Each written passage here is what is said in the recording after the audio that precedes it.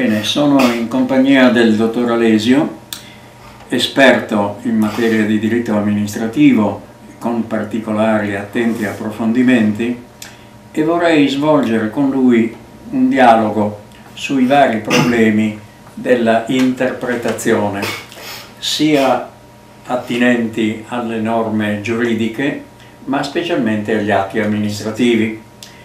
Il problema che sorge è un problema ampio, perché noi abbiamo nel nostro eh, sistema normativo l'indicazione dei criteri di interpretazione delle leggi, articolo 12 delle disposizioni sulla legge in generale, e abbiamo anche nel codice civile l'interpretazione dei contratti. Sorge quindi il problema di vedere quali sono i criteri che devono essere applicati, perché la giurisprudenza del Consiglio di Stato costante afferma che l'atto amministrativo dovrebbe essere interpretato secondo i criteri di interpretazione del contratto e non delle leggi. Questo solleva anche qualche perplessità, qualche problema, perché dobbiamo vedere un po' come si pone questo primo problema. Ce n'è poi un secondo che accenno, che oggi noi abbiamo le norme giuridiche, statali, regionali, che non sono esaustive su una determinata materia. Sovrastanti a queste norme abbiamo altre norme gerarchicamente superiori, non soltanto la Costituzione, ma specialmente le direttive e i trattati europei e i principi comunitari. Come gioca questa gerarchia delle norme sull'interpretazione degli atti amministrativi. Ecco, su questo volevo sentire l'opinione del dottor Alesio, specialmente sul problema dell'interpretazione degli atti amministrativi. Anche nella sua esperienza ampia su vari tipi di atti, come devono essere interpretati questi atti? Vale sempre l'interpretazione letterale?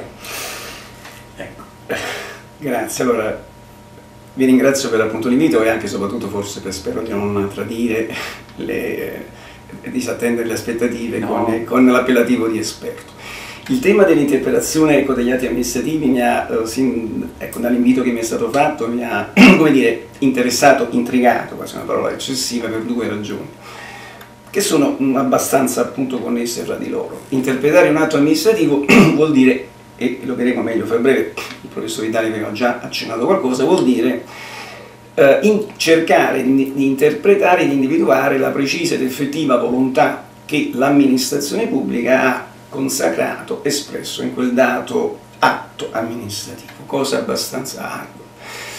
È una cosa abbastanza ardua e abbastanza delicata perché qui bisogna essere, scendere un pochino nella prassi, vivendo soprattutto, ma anche, anche gli avvocati come voi fate, viene alla prassi, ci si accorge che la redazione degli atti amministrativi, dei provvedimenti amministrativi non aiuta.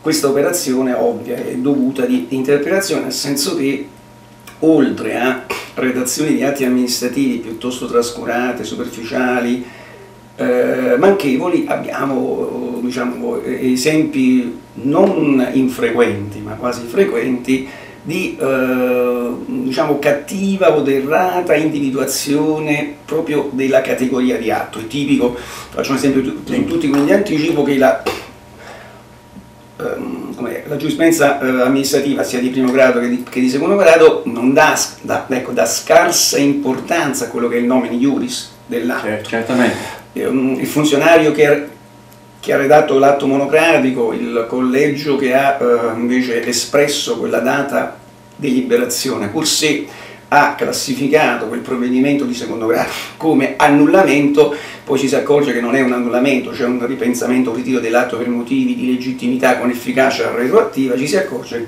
leggendo l'atto, leggendo proprio quello che vi è concretamente scritto, che invece per esempio si è in presenza di una cosa ben diversa, sempre di un atto di ritiro, ma di una revoca che anch'esso è un provvedimento di secondo grado di ritiro, ma per motivi di, in generale di opportunità e di merito e soprattutto non ha efficacia retroattiva. I giudici quindi si anticipa qualcosa, sono soliti dire, beh ovviamente noi dobbiamo cercare di comprendere la volontà, quindi anticipo un po' di cose, e il potere effettivamente esercitato dalla pubblica amministrazione quell'atto. Quindi eh. il nome iuris ha un rilievo minore. Questo Cosa vuol dire come introduzione? Vuol dire che i problemi, a mio avviso, dell'interpretazione, forse la vivo troppo nella prassi, derivano sì dalla difficoltà intrinseca dell'attività interpretativa, ma talvolta dipende anche da noi, cioè da come vengono scritti ecco, materialmente sì. i provvedimenti amministrativi e questo eh, ci fa anche capire il perché, non è una notazione di colore ma è la verità, eh, ancora tuttora sono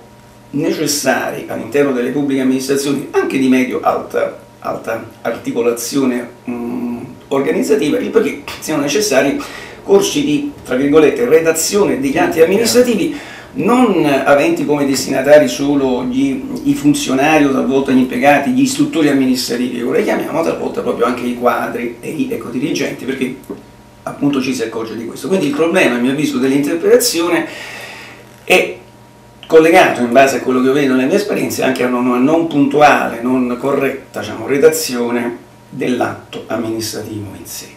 Le interrompo un momento per segnalare che nell'articolo 12 delle disposizioni sulla legge in generale è prevista il criterio dell'interpretazione letterale, si parla del significato proprio delle parole secondo la connessione di esse.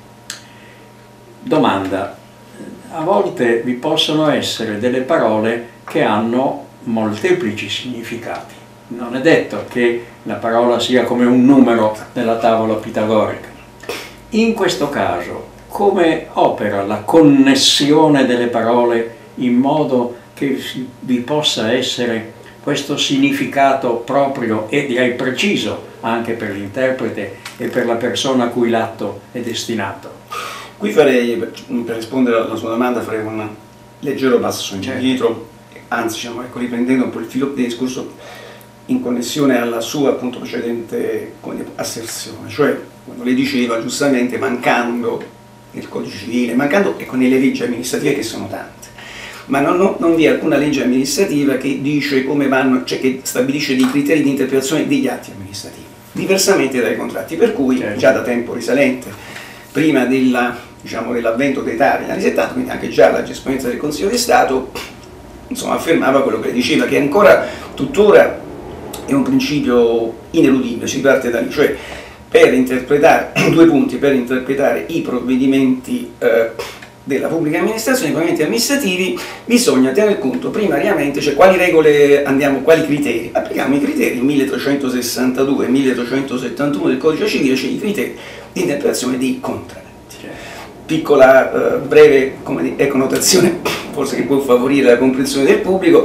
Come sappiamo il codice civile quando parla dell'interpretazione dei contratti eh, distingue poi due mm, diciamo, grandi categorie di interpretazione. Interpretazione soggettiva 1962-1965, cioè quella diretta a individuare la comune intenzione dei Bene, due contraenti. Certo. Poi vi sono altre regole, 1266 1371, che sono le cosiddette regole di interpretazione oggettiva, cioè laddove non sia stato facile, non sia stato possibile individuare con una certa appunto, precisione la comune intenzione delle parti contraenti, allora ci sono queste regole suppletive, residuali, consacrate negli articoli 1266 fino alla regola finale 1371 di cui bisogna tenere conto. Perché si dice questo?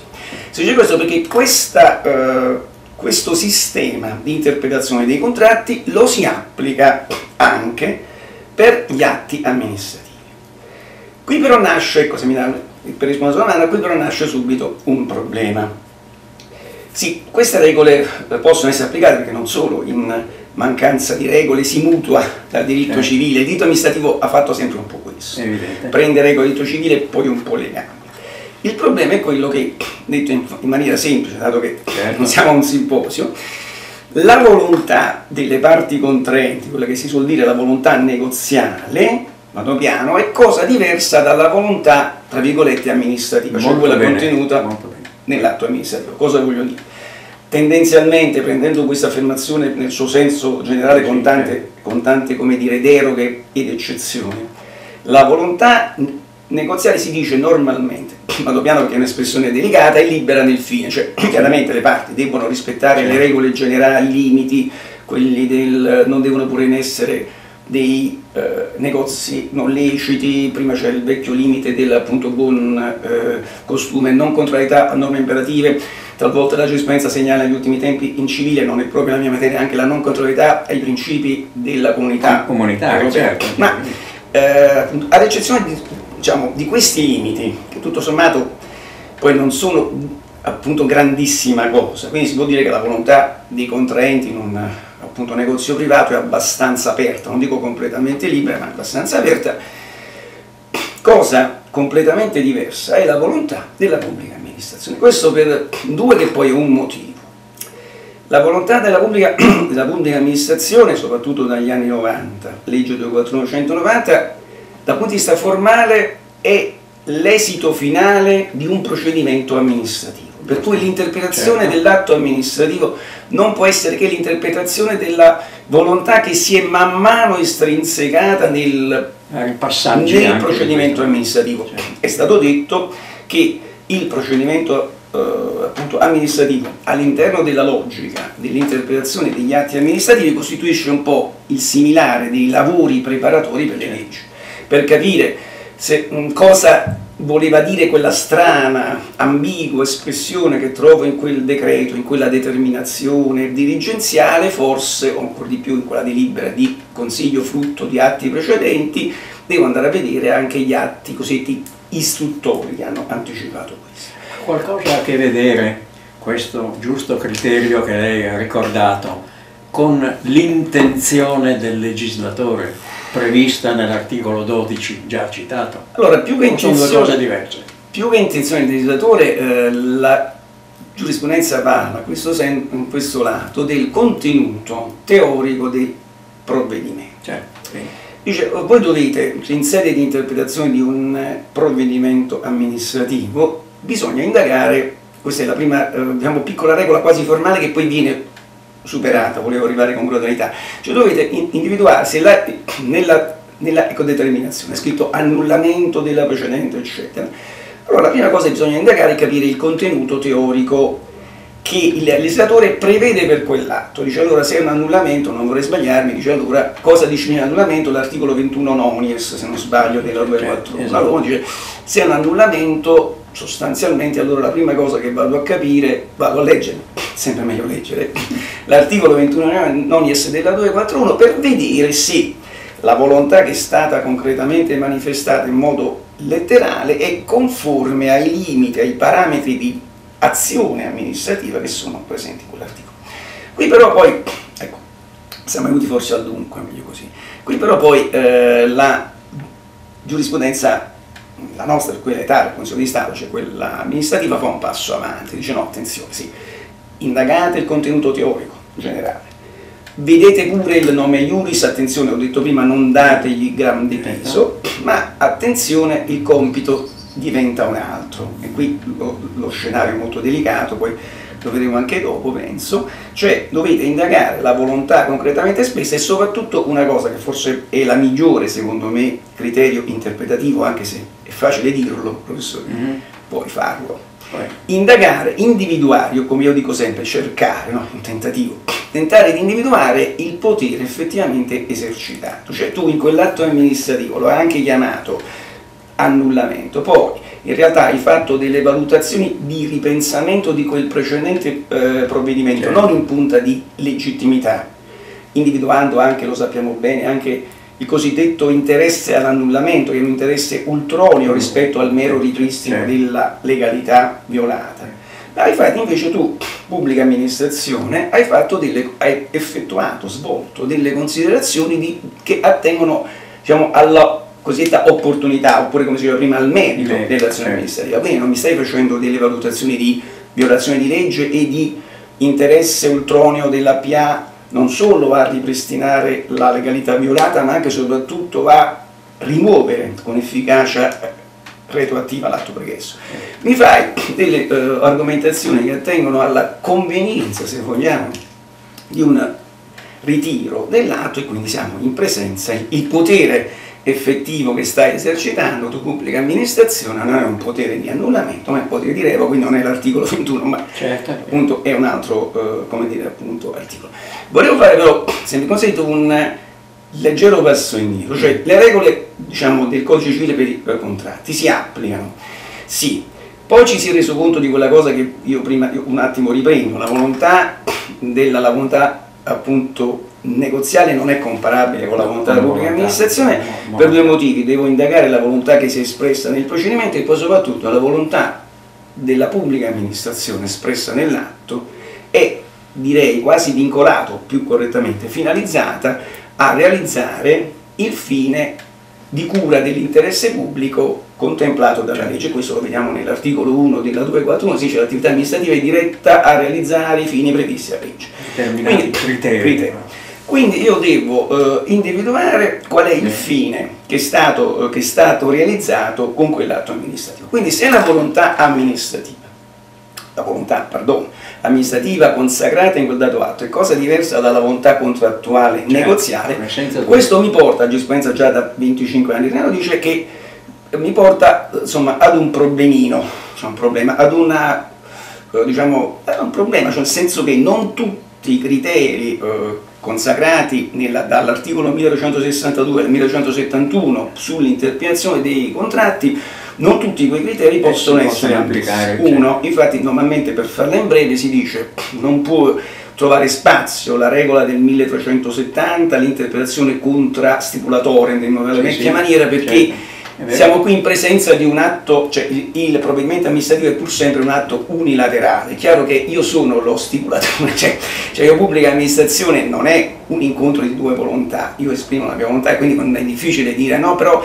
eh, devo interpretarla in maniera tale che non sia conforme al tuo interesse, ma io dovrei emanare atti, il mio dovere proprio per realizzare i compiti. Certamente e poi non può essere neanche applicata la regola finale, la 1371, quella che dice se in caso siamo in presenza di un contratto a titolo gratuito si trova allora in quel caso l'interpretazione meno onerosa per il donante, cioè per colui che dà. Senta, un'osservazione, perché il fatto che l'atto amministrativo esprima una volontà e non l'unione di Bravo. due volontà come nell'ambito negoziale ha fatto sì che però nel testamento noi abbiamo una volontà, la volontà del testatore.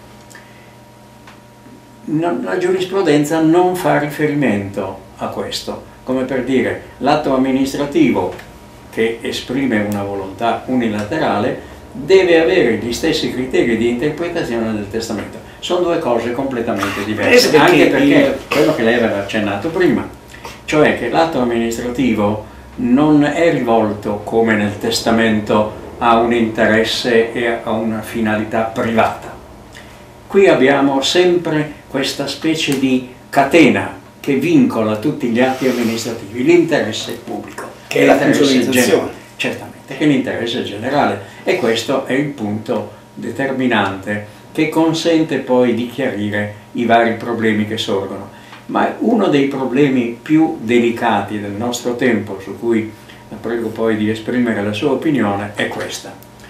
Noi abbiamo, l'atto amministrativo deve essere coerente con la legge, ma non c'è la legge soltanto, oggi noi abbiamo una scalinata di norme, di leggi, di principi che terminano poi alla cuspide con i principi comunitari. Alcuni di questi principi sono importanti, il principio di proporzionalità, principio di trasparenza. Quando si interpreta un atto amministrativo bisogna ovviamente tener conto di questo. Bisogna tener conto di, questa, di questo criterio che, di cui si fa cenno, sì, ma in modo indiretto nell'articolo 1 della legge 241.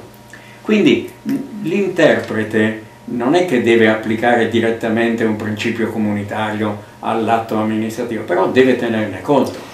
In che modo? Guardi, eh, sarà, ehm, io partirei da una considerazione quasi banale ma no, no, però chiara. Il diritto amministrativo è cosa diversa dal diritto civile. Il diritto amministrativo riguarda, oltre che l'assetto organizzativo delle pubbliche amministrazioni, detta in modo banale, la cura e la tutela degli interessi pubblici certo. in un'ottica chiaramente come avrebbe detto il buon appunto Mario Nigro, dialettica fortemente partecipativa, quindi procedimentalizzata dal 1990, queste che ormai sono appunto 20 Mario anni. Nigro è stato un grande giurista, è stato quello che ha costruito l'articolo 3 della legge 241 sulla, sulla motivazione. Di motivazione. Eh.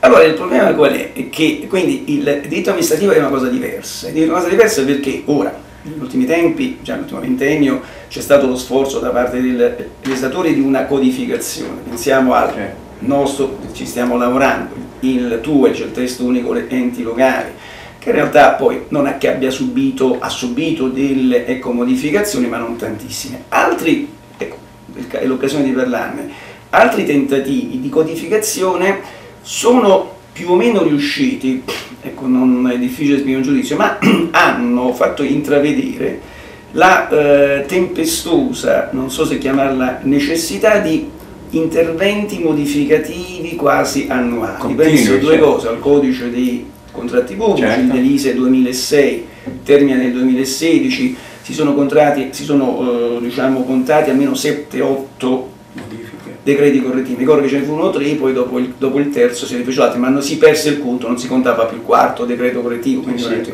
Ma se vogliamo pensare anche allo stesso appunto, testo unico dell'edilizia, quello del 380-2001, ha subito delle appunto, modificazioni non così frequenti e anche rapsodiche come il codice dei, dei, ecco, dei appunto, contratti me li ha subiti.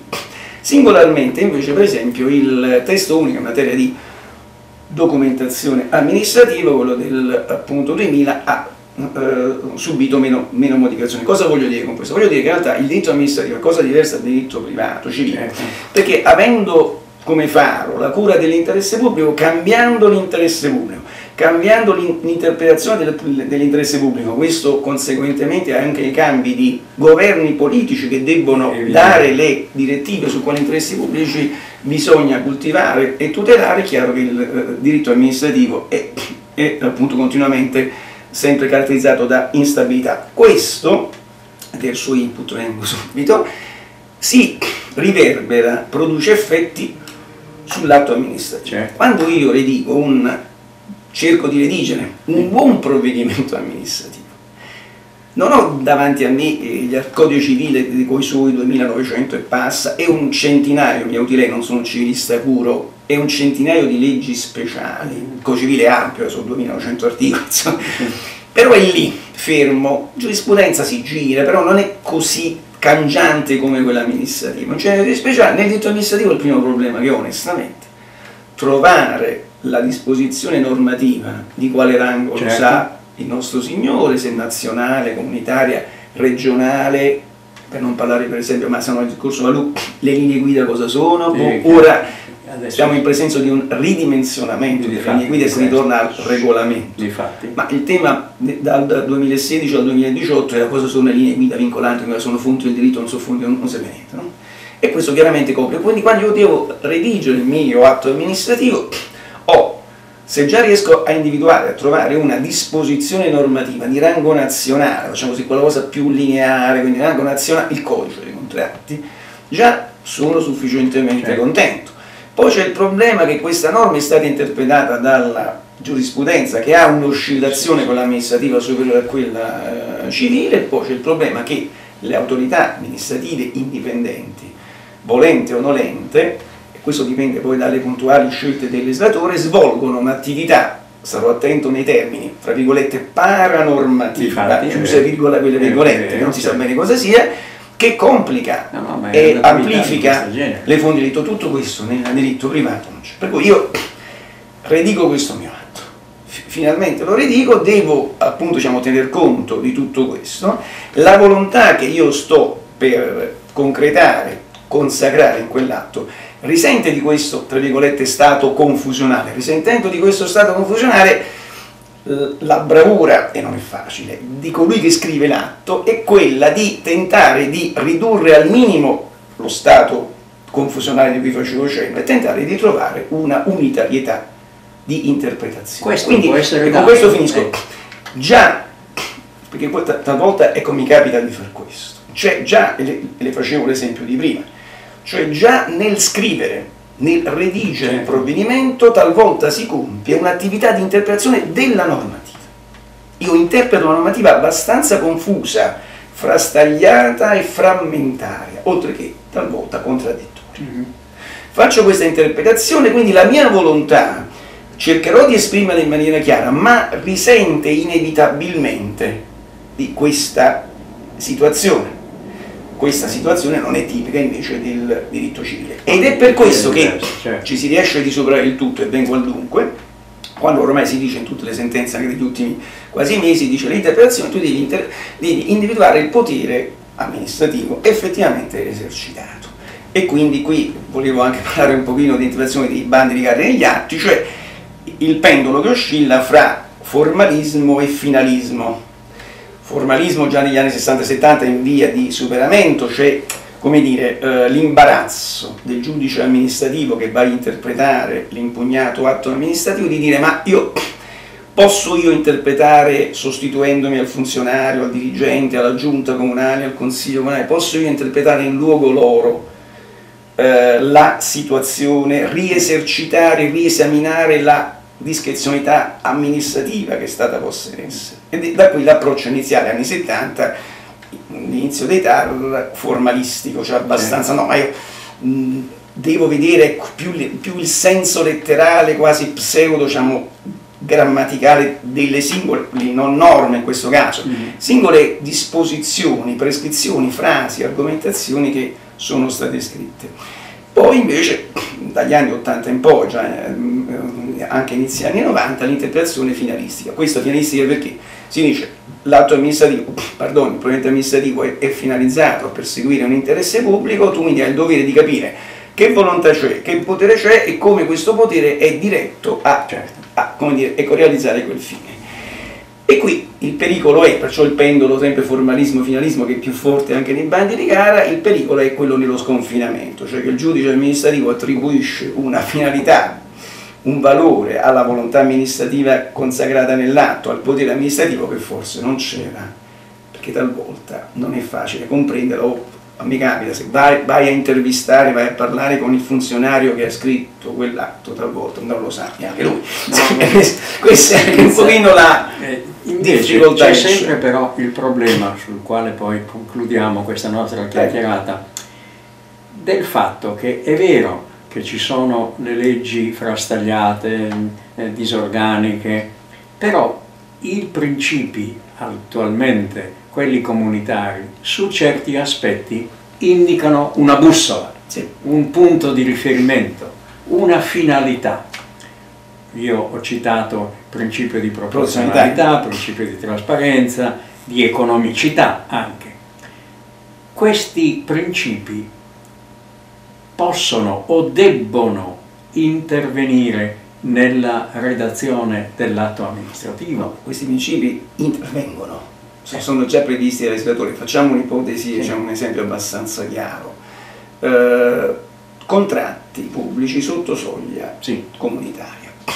Nel codice edilizio 2006-2016 si leggeva chiaramente l'articolo 121, sì non vorrei sbagliarmi, che diceva sì guardate per i, i contratti sotto soglia comunitaria, poi viene la norma quali sono le soglie, cosa a parte, eh, si apre c'era una disciplina specifica proprio ad hoc, mm. 5 articoli, 121, 22, sì. 23, 24 e 25.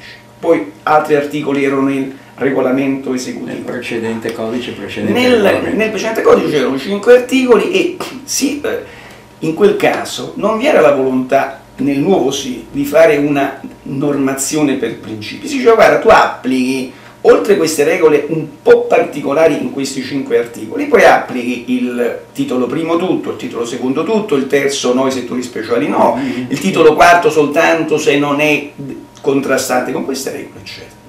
Articolo 36,1 eh. L'affinamento e l'esecuzione dei contratti sotto, eh, al di sotto della soglia di, di quell'articolo 35 precedente deve avvenire e ti fa un elenco di principi e ti dice di venire nel rispetto dei principi di quell'articolo 30,1, cioè i principi del soprasogno.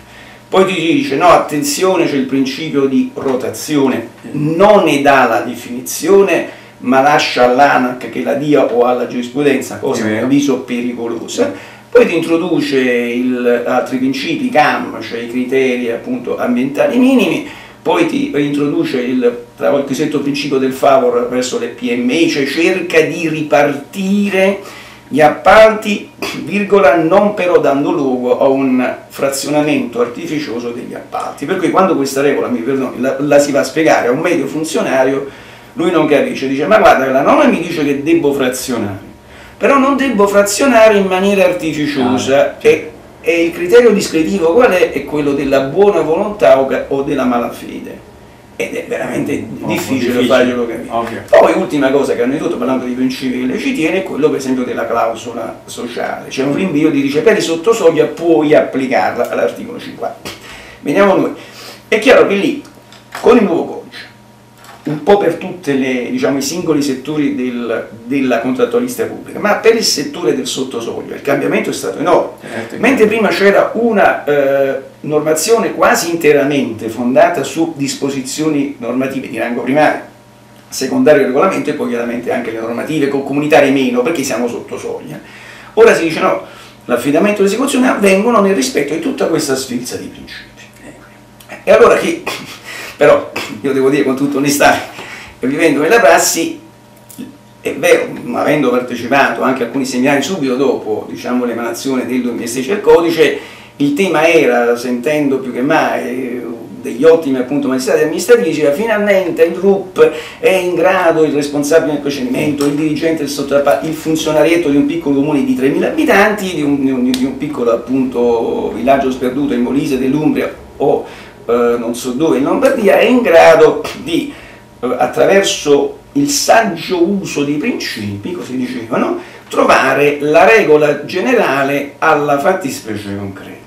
In uno di questi convegni, dopo verso la parte finale, verso le 12.30, prima di avvicinarci non al coffee break, ma arrivò a me la parola e dissi guarda io sono veramente interessato a tutto quello che avete detto, l'articolo c'è un 36 che date, però vi dico questo che per fare quelle operazioni intellettuali che dite voi, loro facevano l'esempio che le posso dire, prima sì, eh, sì, certo, la garanzia provvisoria, qual è la funzione? Per esempio la funzione di eh, diciamo, garantire la serietà dell'offerente, per cui allora do a te il compito nel sottosoglia di decidere se la devi eh, prevedere o non prevedere. E guardate tutte queste belle appunto elucubrazioni che noi qui stiamo facendo dimenticano un fatto fondamentale, quasi un po' simpaticamente dissi, guarda io so che i giudici del, del Consiglio di Stato sono 100, i giudici del TAR sono 300, forse un po', un, un po' di corte di conti, gli avvocati amministrativisti bravi che sappiano fare tutte queste belle cose sono 200.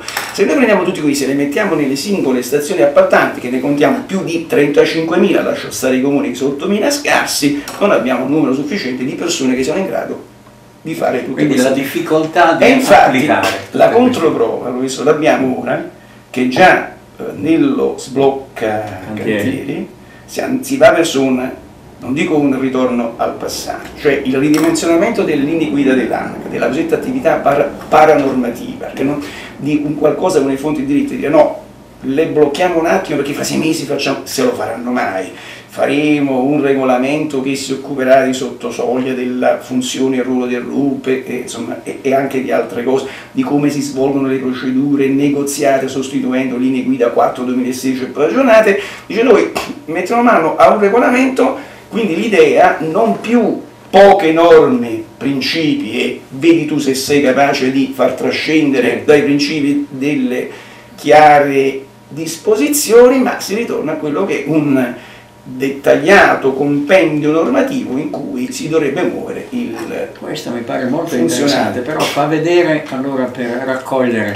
queste varie cose dette che hanno indicato una panoramica sopra i vari problemi che l'interpretazione, vuoi della legge, vuoi del regolamento, vuoi dell'atto amministrativo, è un'attività intellettuale particolarmente ah, complessa, dove alcuni punti possono aiutare in tutte le difficoltà che abbiamo quasi centellinato, cioè che vi deve essere sempre un sistema, l'interpretazione non è isolata, bensì è sistematica e quindi un articolo viene interpretato alla luce di un altro, un altro viene interpretato alla luce di un principio, insomma quell'elenco di principi con tutte le difficoltà che sono state poste in luce fanno vedere però una specie di tessuto unitario. Naturalmente se tutto questo poi, come vedremo nel prossimo emanando regolamento, sarà poi eh, dettagliato, questo aiuterà l'interprete. Ma intanto noi abbiamo fatto questa eh, chiacchierata, dialogo per far vedere i vari problemi complessi e delicati che ci sono sia nei libri pubblicati da Kei Editore come anche in altri libri che saranno pubblicati anche con l'aiuto del qui presente ah, dottor Grazie. Alesio. Grazie. E concludiamo, e ringraziando il dottor Alesio, concludiamo questa chiacchierata.